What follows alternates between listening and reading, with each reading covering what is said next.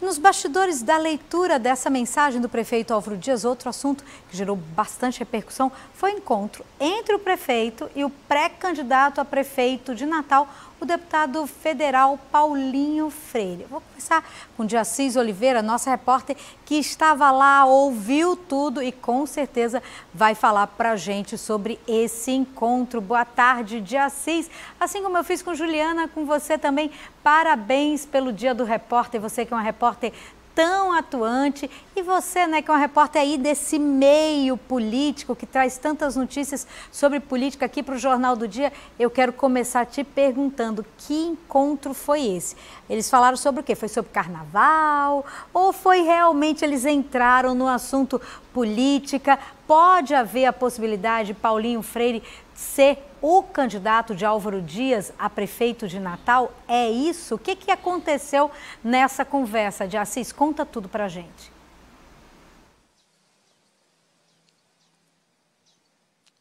Será que vai, hein, Micarla? Boa tarde para você, boa tarde para todo mundo. Pois é, esse encontro que você citou, ele ocorreu no último sábado, durante o carnaval lá no Polo Nazaré. E a foto, ela foi compartilhada nas redes sociais do deputado federal Paulinho Freire e também da vereadora Nina, eh, Nina Souza. Vale salientar que o, o clima na Câmara ontem era bem ameno. Inclusive, a gente ficou prestando bastante atenção na relação dos dois, Paulinho Freire e Álvaro Dias. E uma coisa que chamou a atenção também foi foi o cumprimento do prefeito a Paulinho Freire antes mesmo de, cumprimentar os demais vereadores. Ele iniciou sua fala aí agradecendo né, o deputado por ter ido lá prestigiar aí essa mensagem. E nós perguntamos aos dois é, o que, que motivou esse, esse encontro. Eles disseram que foi um encontro casual e eu perguntei também aos dois. Perguntei ao prefeito se havia possibilidade de um apoio é, a Paulinho Freire e ele disse que nada está descartado. Paulinho Freire disse o quê? Se vier, será bem-vindo. Vamos ouvir aí a fala dos dois.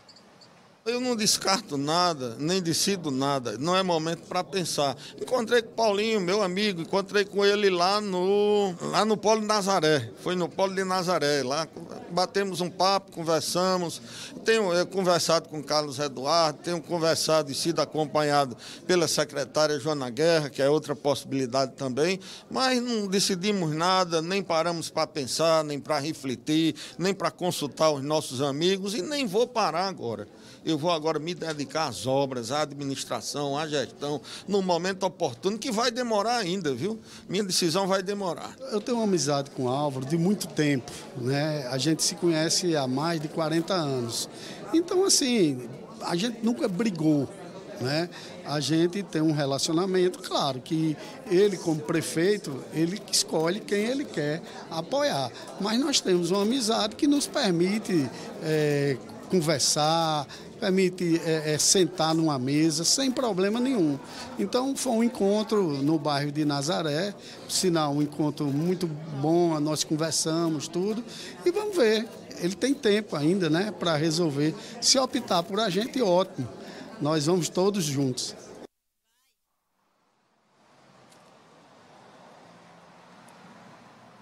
Pois é, Micarla, como a gente bem falou e presenciou, o clima era bastante ameno, o Paulinho lá muito bem recebido pelos vereadores, sabemos aí de já um apoio declarado, né, por mais da metade dos vereadores à candidatura de Paulinho Freire e tem muita água para rolar debaixo dessa ponte, a gente ainda está naquele momento onde todo mundo conversa com todo mundo e ano de eleições municipais geralmente é um ano bastante movimentado, claro que a gente vai continuar acompanhando tudo isso. Eu encerro aqui agradecendo pelos parabéns pelo Dia do Repórter, é uma missão, graças a Deus, que eu gosto muito de cumprir, uma profissão que eu adoro, sempre quis fazer isso e ter a oportunidade, né, de todo dia contar uma historinha, seja ela boa, seja ela ruim, mas de alguma forma a gente tem a certeza de, de que está ajudando alguém. Eu volto com você aí nos estúdios. Obrigada, Diacis Oliveira, por falar em contar histórias, hein? Você que é muito observador. Eu não sei você, mas eu daqui olhando a cara de Paulinho, um sorriso de orelha a orelha, Álvaro falando também de uma forma forma muito tranquila. Eu estou achando que isso vai render candidatura sim, viu? Eu acho pela cara né, deles, mas existe também outras possibilidades. O próprio prefeito colocou. Existe a possibilidade dele também apoiar o nome do ex-prefeito Carlos Eduardo? Existe, se Carlos Eduardo puder também ser candidato nessa eleição. Existe também a possibilidade de apoiar a secretária Joana Guerra, que tem feito um trabalho muito bom ao lado do prefeito Álvaro? Sim, também existe. Então, são possibilidades que com certeza aí a gente rapidinho, né, que esse ano eu acho que vai passar muito rápido, a gente vai saber e certamente, né, de Assis, você vai voltar aqui para contar tudo para a gente. Obrigada, de Assis Oliveira, mais uma vez pelas suas informações